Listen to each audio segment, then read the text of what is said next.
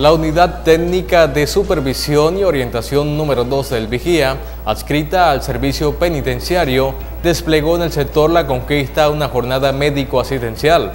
La jornada contó con la asistencia y el respaldo de diferentes especialistas de la salud. Actividad médica que se efectúa en la pista de karting del sector La Conquista. Acá estamos con los voceros del Consejo Comunal de la Conquista, con los compañeros del Ministerio para el Servicio Penitenciario, ofreciéndoles servicios como los que son oftalmología, odontología, medicina general, medicina pediátrica, fisiatría y laboratorio.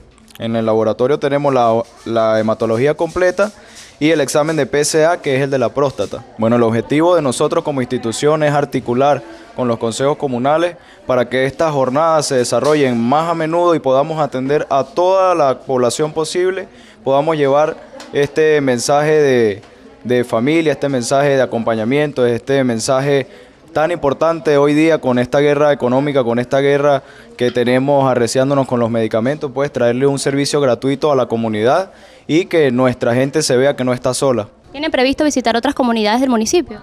Por ahora sí, estamos haciendo los enlaces, todavía no tenemos este, fecha y, consejo comunal o comunidad ya elegida, pero sí ya estamos haciendo los enlaces para seguir trabajando en este sentido. Esta no es la primera jornada que se realiza, ya han sido varias jornadas. ¿Cómo se sienten ustedes como oficina a realizar estas jornadas para la comunidad? Sí, en el tiempo que yo llevo a cargo ya es la segunda jornada de médico asistencial que realizamos. Nos sentimos muy contentos, nos sentimos muy alegres por la participación, la receptividad de la gente y pues por los médicos que de verdad se han portado excelente con nosotros. No tenemos nada que decir en ese sentido. Muy agradecidos pues por cómo se han desenvolvido estas eh, actividades. Al cierre, Zambrano aseguró que continuarán trabajando con las comunidades del municipio Alberto Adriani.